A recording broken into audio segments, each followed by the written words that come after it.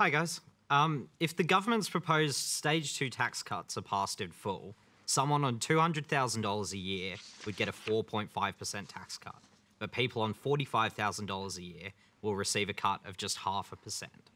It's estimated that these cuts will cost upwards of $20 billion in the first two years. Does the panel think that tax cuts for the rich is really the best way of stimulating the economy at a time when one in 10 people are out of work and JobSeeker is being cut? Naomi Simson, tax cuts. Yeah, uh, the, the thing that I see is that what business needs now is customers. How are we going to get customers so that they can spend? And it's actually very cyclical. So we hear we need jobs. So, first of all, we do need to create jobs. The only way to create jobs is to have confidence in the economy. And the thing is that when we think about tax cuts, we have to give businesses confidence that they can invest in the future. And then it becomes cyclical. So, one tax element like that in isola- isolation without looking at all of the tax structures. So, I think about payroll tax. So, at a certain point in a small business life, it's a disincentive to grow. All of a sudden, you get so big, like I'm not talking that big, but the governance and the requirements, and you can, is quite material. So payroll tax was invented in 1941 for child endowment to support people who needed, you know, their husbands had gone off, off, off to war and they needed to raise their children. In 19, uh, it, and then it was nationalised and sent to the feds and sent back to the states in 1971. And I think if we want to stimulate the economy, we've really got to look at how we have an overall tax restructure. Do, do, you think it's easy to justify that though when you are cutting things out, when you're reducing JobKeeper, reducing JobSeeker? There is the insecurity that we heard about then. Is it still justifiable to say to someone on 100 or 150 or 200,000 dollars a year that you're going to get a, a tax break? Well, for a start, we do know that there is job growth in certain areas and there's massive job losses in other areas. So there are, and we need to reskill our people. So what I would like to see is that we're investing in an apprenticeship program that is beyond what they called for yesterday, which is about 100,000 apprenticeships. I would like to see that we that they move it beyond the trades and into technical skills. So, so Nicki Hutley, does, do the tax cuts make sense?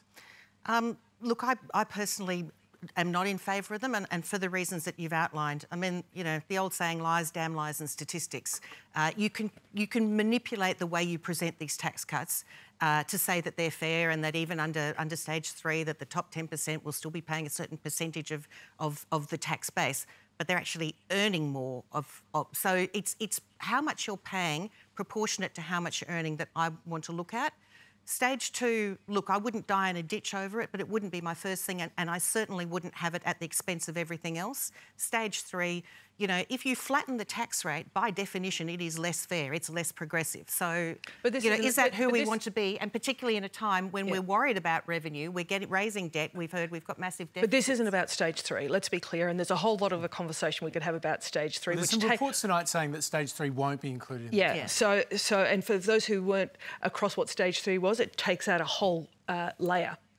But to your question, um, we know people on lower incomes, if you put money in their pocket, they'll spend it.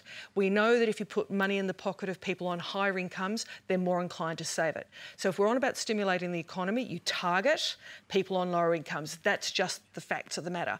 There is, however, a problem we have in Australia, which is this issue of bracket creep. And so what those tax cuts are trying to do, I think, is balance those two things. The question is, where are your priorities? And it goes to Nicki's point. If your priority is about spending, you target on lower income people uh, and not necessarily on higher incomes. Yeah, we know that people will save. We know that the, the savings rate went up to 20% in the June quarter. It's it's not what you if you're simulating the economy, and I guess that's the point is what's your objective what's in all of objective? this? Is it is it something you should be bringing forward if you're worried about stimulating the economy? No, give it to people who spend it, and we have yep. absolutely seen that in spades. We've had the data broken down for us that shows that it's the it's all the supplements that the government has provided. That's what's got spent in the economy and kept us, you know, from being in, in even more dire state than we are. And it's so, twelve billion dollars. Let's mm. be clear though, what the tax cut. I understand mm. the numbers are about twelve billion dollars. So whilst you're bringing down JobKeeper and JobSeeker, twelve billion will come back through tax cuts. The question is how much of it will be saved and how much of it will be spent. So just, Hamish, I think it's on really that point, important to come in here. Yeah, if you don't mind, if I can come in here, because let's face it, these tax cuts are in fact already legislated, and the government makes no apologies for ever will make any more, more apologies for uh, for wanting to allow people to keep more of the money that they earn. Sure, we but took with respect, that this is, legislation. this we took that the, legislation to the the last timing. election. This is we about took the it to the last timing election. whether you should bring it forward. So, can you explain why now? Why are you're deciding to bring this forward? Well, I'm not going to speculate about what might be in the budget tomorrow night, but what I will tell you is that those tax cuts have already been legislated. Labor supported those tax cuts and supported the legislation.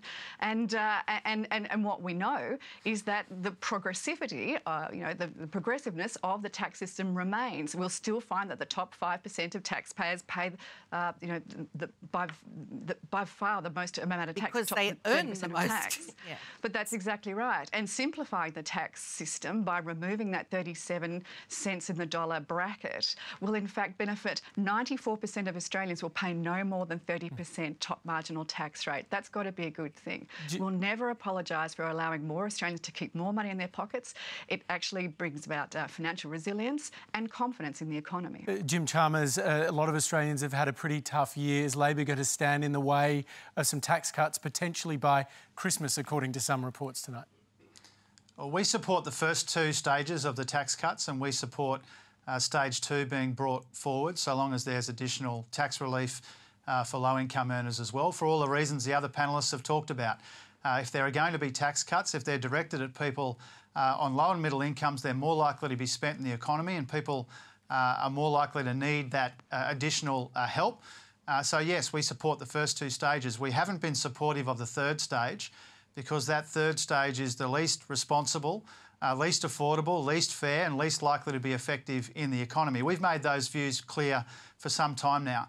Uh, Jane Halton talked about the withdrawal of JobKeeper and, and, and being replaced in some part by these tax cuts. It's really important to remember uh, that for a worker who might be getting $50 a fortnight out of this, uh, these tax cuts, if we're predicting what might happen tomorrow night, uh, many of them, millions of them, have actually just lost $300 a fortnight in JobKeeper, so they're $250 in the hole.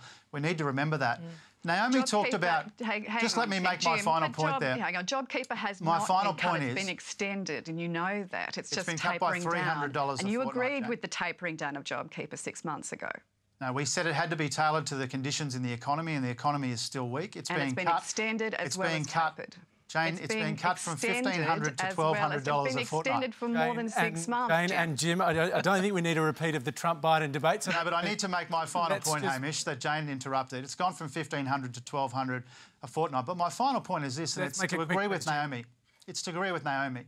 Uh, tax cuts on their own aren't a substitute for a more comprehensive plan uh, for the economy. We can't have the budget tomorrow night to just be another grab bag of headlines.